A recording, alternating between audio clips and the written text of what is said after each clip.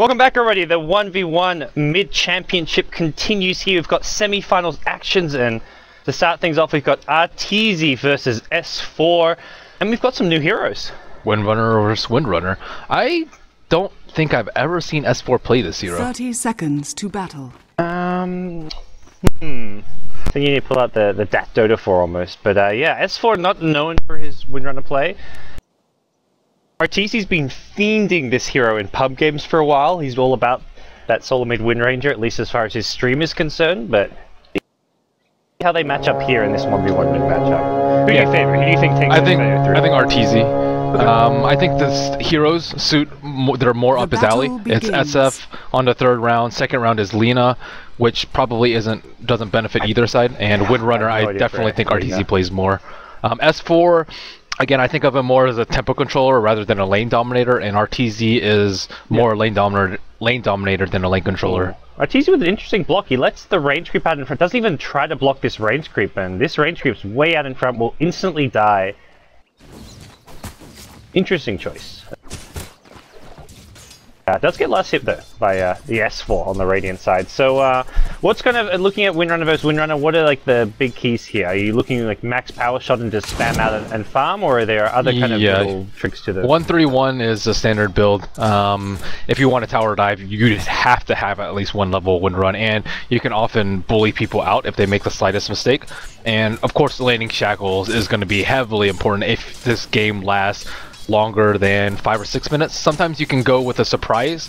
Um, surprise kill if you have like a little bit higher of a wind run because they won't expect that but it also depends on which side you're on. I think that uh, Radiant actually has a slight disadvantage in this matchup Okay. because you're closer to the trees, much more likely to get shackled. Yes, if you're especially from the back foot, you're more likely to run into a, a shackle shot there. But uh, uh, other other things. Um, what I gonna, oth- oh, looking looking at the uh, the other build, focus fire. Do you think you should be looking to get that at level six? It's 75 mana cost now at level one. Is it worthwhile, or is it still uh, not quite just? I don't think so. You shackle is just really important to have. It gives you a lot more uptime, and a majority of your damage will be from power shot early because you can just wind run if they focus fire. Not a big deal. Yes, well, with a nice little power shot last hit there from afar. So uh, he's uh, staying on top of the CS for now. 8 CS to 6 CS, both players with 2 denies, and make it 9. So S4 with an early lead here as far as last hits goes. And looking to power shot from Trees.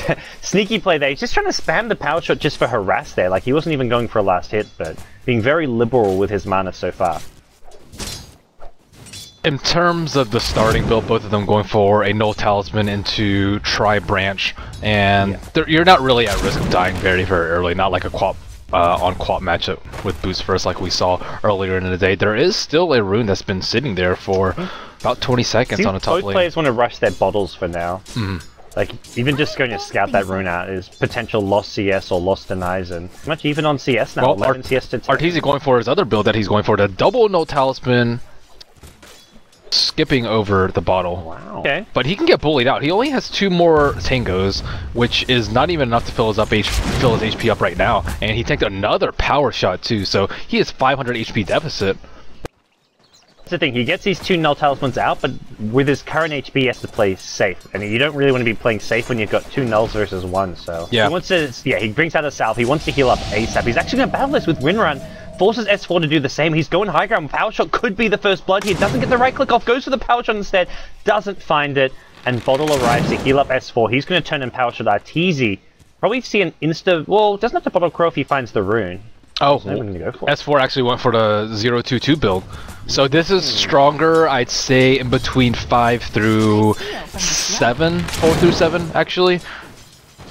Oh, he actually might go for the kill right here. Ah, Arteezy. Trying to bait him in, That maybe. last second Windrun. And now he has to salve. Let's see if he drops his null talismans prior to salve. And no, he does not. Even the clarity, not So he, he's still not going to be topped up. Okay, well, he actually did bring another set of tangos. But, I mean, that's a lot of regen already spent. That's, what, over, like, 275 gold right there. And that's not quite half a bottle, but it's still pretty close. Looking at the net worth difference, it's like a 300 net worth difference, even though there's one CS between them. Very Because all the regen items. Why haven't either of them checked the rune? I think the DD is pretty significant Especially matchup. S4. Like, it's so Yes. quick to scout the top rune as well. You only have to go like halfway there. It takes you like five seconds total to just In see what it- daytime, see if at it's least. there. Yeah. Now that it's night, it's tricky. So he'll bring his bottle back out, S4.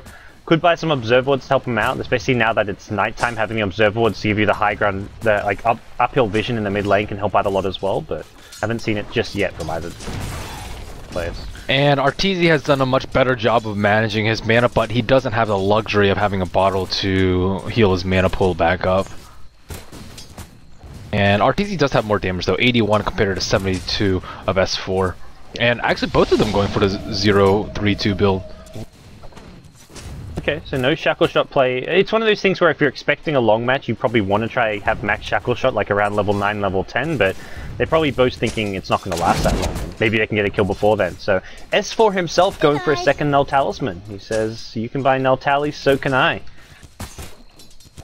Arteezy with the HP advantage there. Trading Hitcher in the mid lane. Power Shot goes through. That gets Arteezy low. He's going to go for a Power Shot. Misses it though, and S4 going to turn around. Has a Power Shot in 3 seconds. Is he going to go for this? Windrun is available for Arteezy, but he only has one or the other. He gets hit by this. One more right click could be coming in soon. Arteezy has Windrun. He's going to go for this. S4 is in trouble. He may get first blood. It's going to bottle in between right clicks. He can't do it though. First blood Arteezy. That level 3 Windrun. Owned him right Wow. there. First. That 4.25 second duration, and that's why you go the Windrun, I guess. Radiant's Triple mid- no tells. Yeah.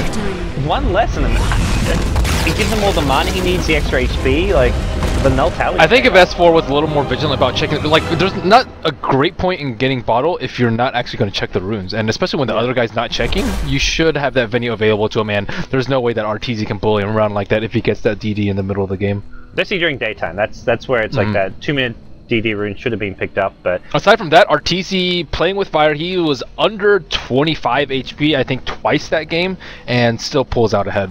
Prepare for Hello battle. and welcome everybody back to the TI4 Solo Mid Championship. We're here in the semi-final. We have a smoke. what? What is he doing? This is next level. What is going on here? And S4 was we actually the one that bought boots earlier versus in the match versus Ice Ice Ice and Arteezy trying to pull some next level plays here. Is he gonna try and chicken snipe? I think he actually I think actually he's going for a kill. Already. Wow. Get the high ground, light strike array, and then he's got the harass advantage with boots first. He's going to do a lot of damage off of this. Um, if he hits a stun, he will. That's to say he needs to use his It's at S4. He can't really trade blows, not against boots. He's well, he kind of has to stand his ground, but he's got the tower to hug and another stun. Arteezy's got another stun available himself, so he's going to kind of poke his head around. Takes a tower hit though. 30 seconds to battle. That's painful Um, stuff. S4 is a I- stun. You're going to be careful. This is so dangerous for both. Okay. He has to dodge a stun. Is he gonna do it? He did not dodge, and that is GG. Well, well played. First S4 brought up Tangos as that was It's happening. gonna be a scorcher. Okay. What? ne- next game. He didn't stun from the high ground. Like he right clicked and didn't throw He, a stun. that, that was strange. Yeah, I thought he was going to right click him as he went to the high ground. As soon as he turns around, he stuns. He gets like four free last hits. The problem is S4 didn't actually spend all his gold. so if he Dire tanks harass early, he can go back to the fountain. He can TP back. He can bring himself tangos. He can bring himself salve. He can bring himself boots. And that was a YOLO play. What a game. We brought the stream back up and we our second GG before the creep spawn. Like, I Too was- easy for S4. Look at that. 738,000 GPM. What a player. That's insane. Oh, and the XP per minute. This is just off the charts. S4 is just breaking Dota 2 right now with how good he is. So uh, we go to SF versus SF. I guess it's it's only natural we get an SF versus SF. Arteezy versus S4. Do you think uh, Arteezy's still going to take it or? I think Arteezy is going to win the SF versus Look, SF. after seeing that, I'm on the S4 bandwagon. I don't know what that was, Arteezy, but go back to buying Null Talismans. That was actually working for you. That was just that was That's some low. clowny, some clown shoes stuff. That's a low know. blow. well, guys, stick around. We've got game three, SF versus SF, to decide this semi-final. Who's going to be in the grand finals? Will it be S or Arteezy? We'll find out after this short break. Prepare for Alrighty, battle. guys, after a long, long break, we are back. It's time for game three of the Shadow Fiend vs. Shadow Fiend matchup between S4 and Arteezy. Winner goes through to the grand finals. Loser is knocked out here in the semi-finals. I'm God, Joining me is Merlini. Are you ready? We've got Arteezy in the Finally, game. we had all the issues resolved. Arteezy is no longer lagging. Branches have been bought. Wraith bands have been bought. Game is ready to roll. And you, you favor S4. I favor Arteezy. Look, we're we're a team, but it doesn't mean we always agree. So We'll see how this one goes down. Uh, it is a spot in the grand finals, a pride at stake, a, a, a solo mid championship, and uh, a trophy at stake. So uh, we'll see who's going to be walking home proud here, at least in this semi-final. The other two players waiting in the other seconds to semi-final, battle. Ferrari 430 and Resolution, uh, both still alive in the other half of the bracket. Do, do you dislike Axe's or SS model? I said X because I saw him type the rage thing. I'm, I'm kind of medium about it. A lot of people were complaining about him needing a rework. I actually don't think he needs one. I quite like. It's not like I don't think it's like it's not how I envisioned SF like as a Dota one player, but like I'm not like oh it's terrible. It needs a, a remodel. I think he could be more shadowy. He looks too The battle um, begins. too concrete for for my liking. I think especially- could more like shady yeah. and wispy. When you go in the showcase mode, especially, I feel like you could almost like add some more detail to it, or I don't know. But overall, I think it's Yeah, it's it's, solid. it's not bad. Anyways, a good, a good six or seven out of ten. so checking out the blog looks like S4 and Arteezy are actually relatively even in this blog. Uh, yeah, pretty even so far. Looks like we made a slight advantage Arteezy. Yep. Ever so slightly, but it is dire side, so you'd expect this and the other start goes here. The big thing is just eh, what often happens the first like creep wave or two is that you just mess up each other's last hits and no one ends up getting sold. But so far it's easy. He's off to a good start.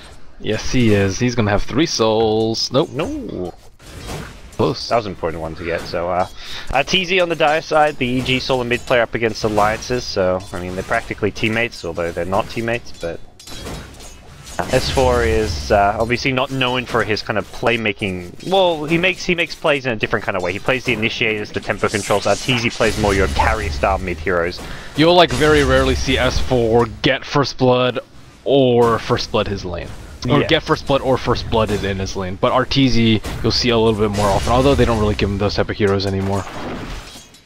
It's a pretty even CS stat so far. RTZ one deny ahead, which is, translates to one soul ahead, which gives him a bit more damage. Both players have brought out some more tangos and very standard opening as far as this match. Arteezy playing very aggressively, trying to harass from the low ground. Hmm. That's rare. It, and somewhat ill-advised when you're on the low ground, as uh, you do have that high miss chance. So nice long raze there from Arteezy. He was going to get denied, which would have been a, a soul for S4, and he uses the C raze there just to guarantee the last hit, which I, I like to see. We call them E razes here, buddy. the C raze. I don't C raze. E raze. Is Uh, I call E I call them the long distance raze. the QWE razes. Yeah, I'm still I'm still in the uh, the Dota one. You can call them. You can long, medium, short. ZXC. I don't know. Well, okay. Those are those are my Long items. raze. Anyways, going back to the game, looks like both have opted for a little bit of regen. We see three tangos on RTZ, two tangos on S4, and RTZ, I'd say, doing a slightly better job of CSing and slightly better job of uh, control. But overall, it's still a very even match. A two-minute rune will spawn bottom, will be an illusion rune. And no bottle yet for Arteezy, instead opting for the salve as well as a magic stick S4, trying to redirect cra- creeps outside of his tower, but taking a lot of damage in the process. We're gonna. It looks like S4 is opting to go for a bottle rush with his start.